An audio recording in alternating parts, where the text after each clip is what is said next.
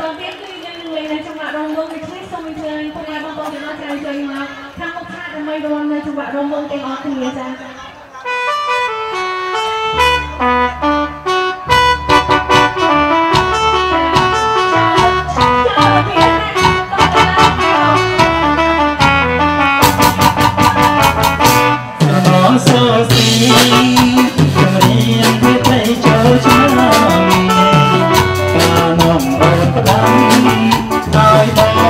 Lấy ngon cầu.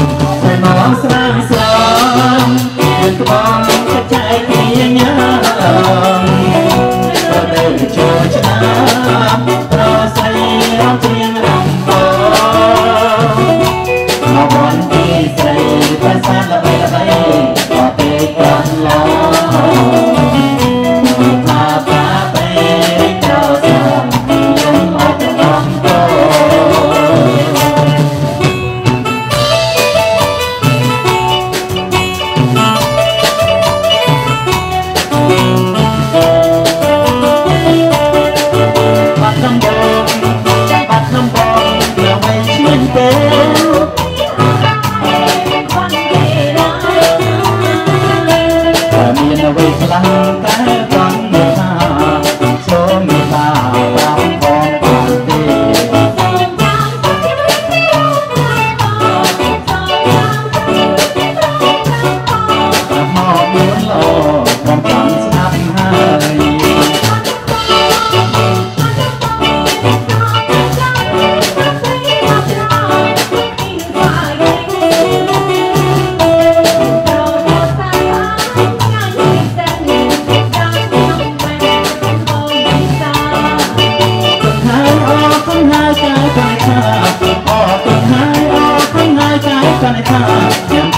ងស្ងាត់តែបងព្រមញ៉ាំ